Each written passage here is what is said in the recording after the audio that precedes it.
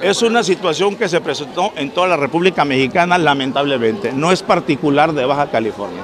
Aquí, Sociedad de Gobierno, estamos haciendo un gran esfuerzo para combatir la pobreza y la pobreza extrema, obviamente.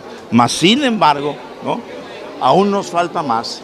Y nos falta más porque también Baja California somos un estado de migrantes.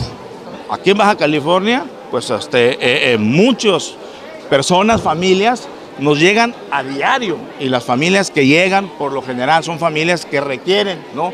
de apoyo, pero también vienen a buscar oportunidades. Entonces, la situación de los estados fronterizos son complicados. Conforme la economía nacional se fortalece, de, alguna manera también todos los estados nos fortalecemos y, y no se diga Baja California.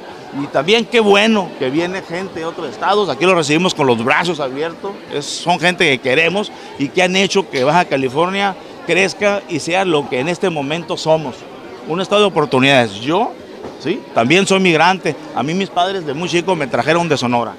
El secretario de Desarrollo Social no ha querido comparecer ante el Congreso, lo han invitado para que hable precisamente de ese tema y no ha querido acudir. Pues tengo entendido que va a ir, mañana. tengo entendido mañana, ¿no? Entonces mañana para allá va a estar.